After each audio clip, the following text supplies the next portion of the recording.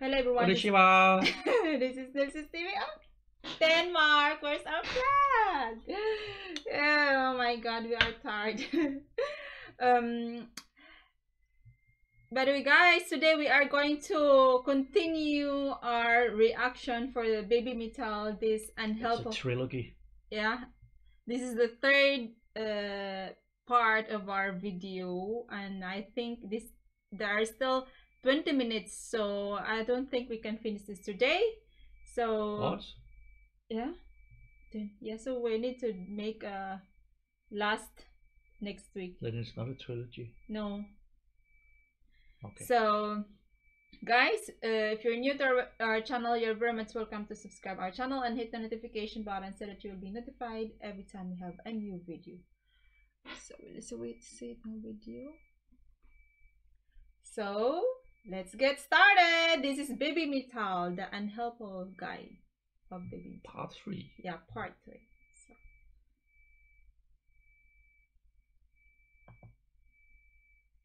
other figures in the distortion music video, and are related to a comic released, Apocrypha, fictionally telling how baby metal came to be.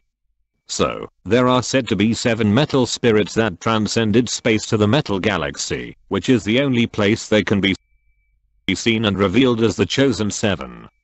They were led by an invisible force to this dimension, known as the metal galaxy, which is formed when light and dark intersect. So all of that Oh, okay. That's why you're some of you guys talking about Metal Galaxy. Now I Okay. know. Yeah, okay. Thank you. for- This is video is really helpful actually. leads us to the Metal Galaxy, which is the concept for their third and most recent album. We love a space theme. So essentially due to the Fox God's divine intervention, metal spirits were sent out, some of which found their way to baby metal, and with this meeting, they made an odyssey to the Metal Galaxy. Whether this encounter was by accident or by fate, no one will ever know for certain. All happens in the name of the Fox God. So from 2010 up until 2017, Baby Metal performed as a trio at countless Japanese shows, eventually branching out to different areas around the world. Their popularity really soared in 2014 with the release of meme hit Give Me Chocolate. With the success of this song, they were able to branch out even more, and go on world tours.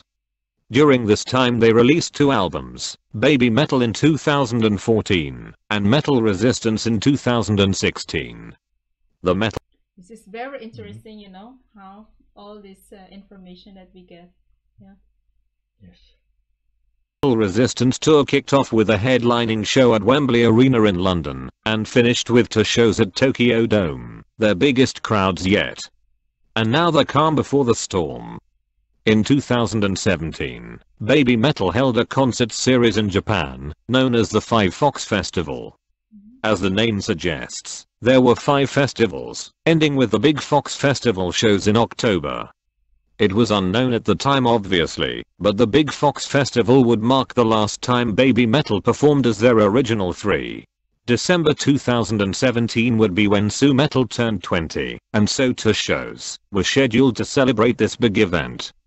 The shows would be known as Legend S, or Baptism XX, to honor Mm. Okay. Sue's big day. It was announced just before the show that Yui Metal had been advised by her doctor not to perform due to her poor health. However, the show must go on and all that, so Baby Metal performed as a duo of Moa and Sue. This was the first time the group had ever performed without a member. Yui's spot was empty, and the choreo was clearly the same as it had always been. Just sans Yui Moa only did her lines and the songs, and the crowd helped sing Yui's. Part of the Uh, statement so about Yui So you know that these people, uh, their supporters are very. Uh, you, you can see that they are really into uh, Baby Metal because though there there's uh, one member not in this uh, concert, but still they help them to yes. yeah, and they already to know the song. So that's the true metal uh, fans. It's being supportive. Yeah, they're, ve- Supportive. they're very supportive support. Yeah. reads, quote, Yui Metal is unfortunately not feeling well, and doctors have suggested that it is in her best interest not to perform. We regret to inform this unfortunate news and truly apologize in advance. We considered cancelling, but came to a final conclusion to hold these performances as scheduled end quote. Please take note of the truly apologize, and, in advance bits, as I have a lot to say about them in a moment. Legend ended, and fans assumed everything would be back to normal once the girls performed again. But unfortunately, something happened before any new shows arose. 2018 began with a tragedy, as Mikio, one of the guitarists in the Kami band, fell from an observation tower while stargazing. He passed away as a result from his injuries on January 5th.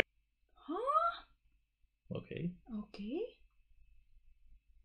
My God, this. I think yeah. I think some of you uh, s- uh told I us. heard uh, that he was yeah. dead, but I didn't hear how. Yeah. This is very sad. 5th. Baby metal song Starlight is considered to be a tribute to Mikio. And thus, we have arrived in the year of hell, that was 2018. Hmm. The new year did bring news of a new world tour, to being in Kansas City, Missouri in the US in May. Fans just assumed Yui would be back, and performing with the others as no announcement was made otherwise. Remember that bit I said to take note of? Here's where it's relevant again. So it wasn't announced until after, yes after, that Kansas City show, that Yui was still on a health hiatus, and would not participate in the tour at all. I was actually at this infamous Kansas Yeah, it must be ve- a very uh, serious health problem. Yeah, Yeah. they have been very unlucky. Yeah. Hmm. Hmm. City show.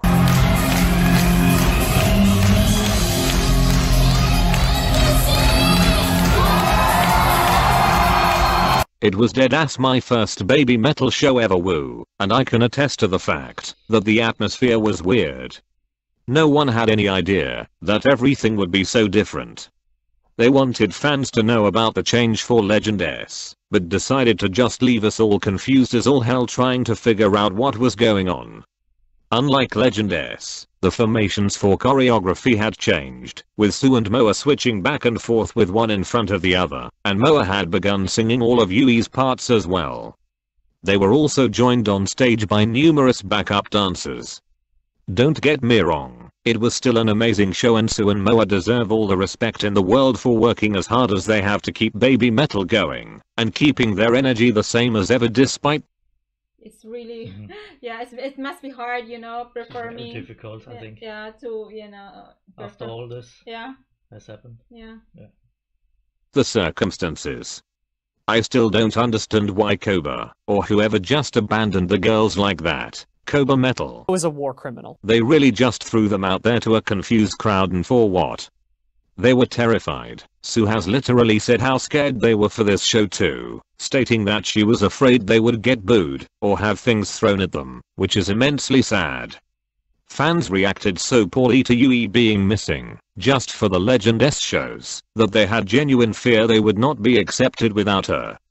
If you were the type to leave annoying comments on social media demanding to know where Yui was, I hope you feel like shit. Okay. Moving on. The tour continued, and while there was some anger and confusion still, it ended up going as well as it could. With the conclusion of this tour, there was a show announced for October in Japan, called Dark Night Carnival. But just before this show was to take place, we got the announcement most of us assumed was coming. On October 19, 2018, Yui Metal officially withdrew from Baby Metal, citing her continued health problems as the reason. At this point, it had been a full year since she had last performed with the group. That same It is so. It must be very sad, you know. At uh, she Yeah. couldn't- yeah. Day, Starlight was released as a single, and again, many fans believe it to be a tribute to Mikio and maybe even Yui also. I hope all the people crying in the comments on Instagram about Yui being gone, or where's Yui know, that she cited the fact that she wasn't able to recover fast enough as part of what 18 was proving to be chaotic as all hell, and would be remembered as the end of an era. But everything ends, Time keeps moving forward and so must we. So now on to the new era. And now, Dark Night Carnival, Baby Metal's first show as a duo. This show is tied heavily with The Chosen Seven, which is why Moa and Sue appeared on stage with five dancers. It was also the first foray into the dark side of baby metal. Whereas Legend S was the light, Dark Night Carnival is the opposite, the dark. Which, as we remember, are This is uh, this this this uh, group is uh, having uh, dif- uh, different stages where uh, it was uh, this uh, in this part it, it is very uh, sad that something happened to the guitarist Mi- Miko Mi uh, Mhm. died and then uh, Yui also couldn't ba- be back so both needed in order for the Metal Galaxy to appear. This dark side also gave us a completely new look for the girls in terms of styling. Old dudes who complained about this superior look are weak and will not survive the winter. Anyway. One of the backup dancers for this show is Saya, who would go on to fill in Yui's old spot during shows in Southeast Asia and Australia. Way too many old dudes were also really mean to Saya for no reason other than she was in Yui's old spot. Saya, being 18 at the time. The nerve of this fandom sometimes. Stop insulting young women. And don't make me tell you again. Sit down. But, because these shows were after Yui's official departure, they could definitively put someone in her spot as opposed to the US tour, when they reformed the choreo, to not look like someone else was where she should be. Saya was only the first to fill that spot. But for a while, several months in fact, there was nothing going on. And then, a new album was announced, to be released at some point in the year. Also, four new shows were set for June and July 2019 in Japan. Awakens the Sun also rises, and Arises Beyond the Moon, which would serve as Legend M for Moa's 20th birthday. And with these shows, we were propelled into the real new era of baby metal. and to support Sue Metal and Moa Metal.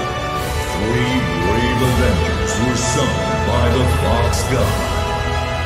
Today, one out of these three chosen dancers will be selected. But who will be summoned is something only the Fox God knows. There were now going to be three backup dancers who would only the fox know only, how's it? Yeah. only the fox god knows okay switch out in the third spot. Their names were never actually announced or anything like that. It was fans at the shows who figured out who they were and let all of us know. The Avengers never have mics, they just dance. And they are in fact considered new members in a way, especially considering Sue and Moa have spoken about them in interviews. About this new addition to Baby Metal. They are the Avengers. The You know, Avengers. yes. And uh, chosen by the Fox God.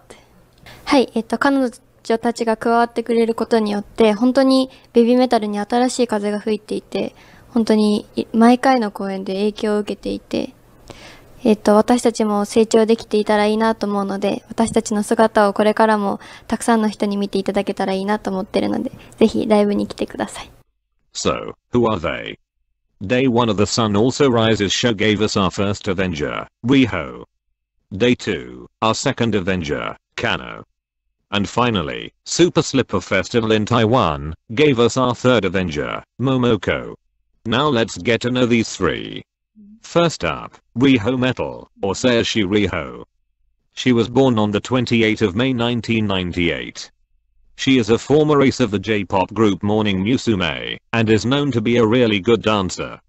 The general reaction to her performing with Baby Metal has been given her status as a J-pop icon. She graduated from Morning Musume in December 2015, in order to focus on other things outside of the limelight. She has been the Avenger at quite a few shows so far, including multiple in Japan, Glastonbury Festival in the UK, Brixton in the UK, numerous shows on the US and Europe legs of the Metal Galaxy World Tour, as well as the Forum show in LA. Despite being an incredible dancer, she is very clumsy.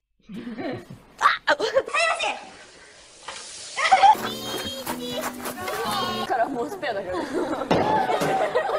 今ダンスなんかこう She is also a ball of chaos.